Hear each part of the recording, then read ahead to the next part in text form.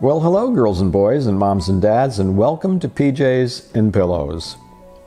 Tonight we've got a great book. It's one of my favorites. It's called A Sick Day for Amos McGee.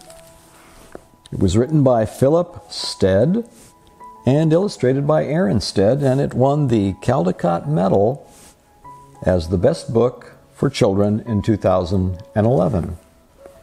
Let's read the inside cover together.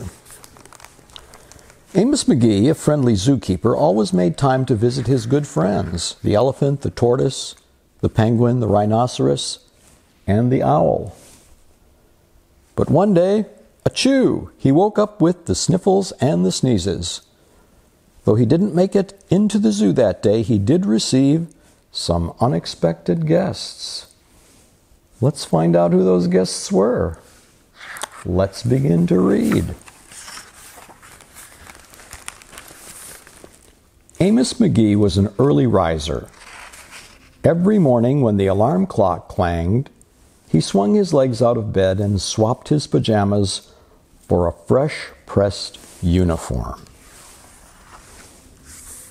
He would wind his watch and set a pot of water to boil, saying to the sugar bowl, A spoonful for my oatmeal, please, and two for my teacup. Belly full and ready for the workday, he'd amble out the door. Every day, Amos waited for the bus number five. Next stop, City Zoo, the bus driver would call. 6 a.m., right on time, he'd reply. Amos had a lot to do at the zoo, but he always made time to visit his good friends. He would play chess with the elephant, who thought and thought before making a move.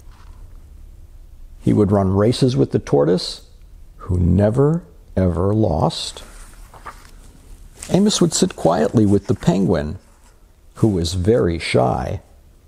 And he would lend a handkerchief to the tortoise, who always had a runny nose. And at sunset, Amos read stories to the owl who was afraid of the dark. One day, Amos awoke with the sniffles and the sneezes and the chills.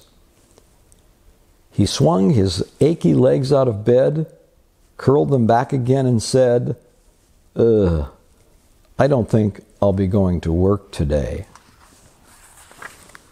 Meanwhile, at the zoo, the animals waited for their friend. The elephant arranged his pawns and polished his castles. The tortoise stretched his legs and limbered up.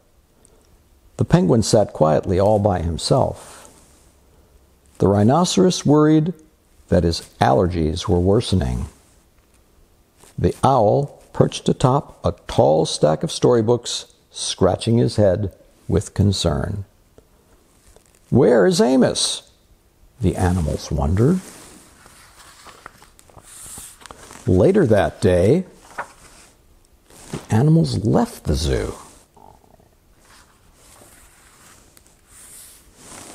They stood on the bus stop where Amos always stood and waited for the bus. And then they got on the bus. How did that elephant and that rhinoceros fit through the bus door? Finally, they arrived at Amos's house. Amos was still in bed and he said, Hooray, my good friends are here. The elephant prepared a game of chess. Amos thought and thought before making a move. I'm too tired to run races today, said Amos to the tortoise. Let's play hide and seek instead. The tortoise hid inside his shell. Amos hid beneath his covers. Amos yawned. I could use a nap. The penguin sat quietly, keeping Amos's feet warm. Achoo! Amos awoke with a sneeze. The rhinoceros was ready with a handkerchief. I'm beginning to feel much better, thank you, said Amos to his friends. He swung his legs out of bed.